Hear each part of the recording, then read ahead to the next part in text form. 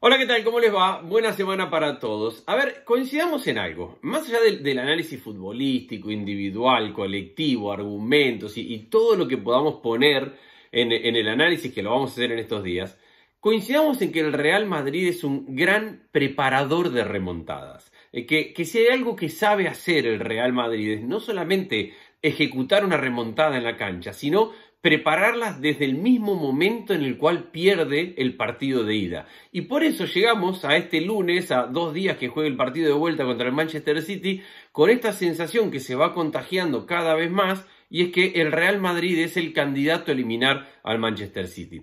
Es que tiene también trabajado, y digo esto desde el eh, reconocerle el mérito, la inteligencia y la capacidad de generar este ambiente que genera el Real Madrid, que después de haber sido bailados por el Manchester City en el partido de ida y de sacar un resultado exiguo que lo pone a un gol de, de, de, poder llevar el partido a tiempo extra, pero que tiene que ver más con, determinados momentos y cosas puntuales de partidos que con el rendimiento colectivo, los jugadores, en vez de salir con la cabeza gacha del de, baile que se comieron, salen y dan declaraciones eufóricos por el momento. Y cuando van subiéndose al micro y les preguntan, ¿hay remontada? Todos se dan vuelta dicen, por supuesto que hay remontada. Y a partir de ahí empieza a trabajar esta máquina de generar remontada y optimismo que es el Real Madrid, su historia reciente, sus jugadores, sus medios, la capacidad desde el club de poder contagiar.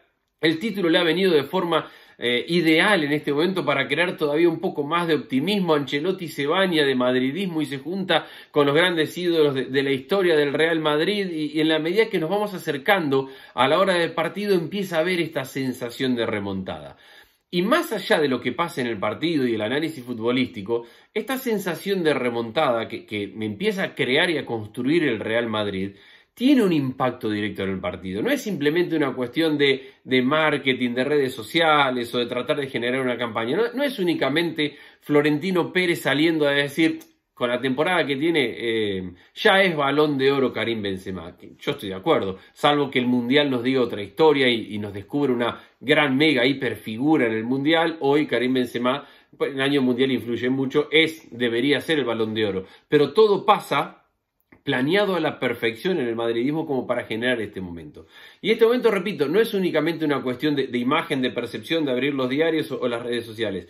Este momento termina después influyendo en la cancha. Y está muy bien trabajado por el Real Madrid, porque cuando llegue el partido contra el Manchester City, el análisis no va a ser el baile que le dio el City. El análisis va a ser que el estadio va a estar a reventar de gente que está segura que va a haber una remontada. El estadio va a tener a 11 jugadores del Real Madrid más los del banco de suplentes sabiendo que van a sufrir, la van a pasar mal, que va a haber momentos buenos, malos, que lo que sea, pero que la remontada está ahí al alcance. Y para mí lo más influyente de todo es la capacidad mental que tenga el Manchester City para abstraerse de todo eso, que no es tan fácil y recordemos que la pasó bastante mal en, en Madrid contra el Atlético de Madrid en, el partido de la vuelta. Yo no sé si será capaz el Manchester City de abstraerse de este ambiente de remontada. Muchas veces la, cuando la épica se pone de un lado es muy difícil parar ese tren y el Real Madrid es una máquina trabajada a la perfección para generar este, esta sensación y este momento de épica. Después nos vamos a meter en análisis futbolísticos, eh, en qué tiene que hacer el City, eh, cómo poder ratificar el baile de la ida pero sin los errores defensivos, por dónde puede buscar el Real Madrid, no tiene muchas dudas, no va a estar a, a lava, cómo puede explotar lo que no pudo explotar en el partido de ida, donde la pasó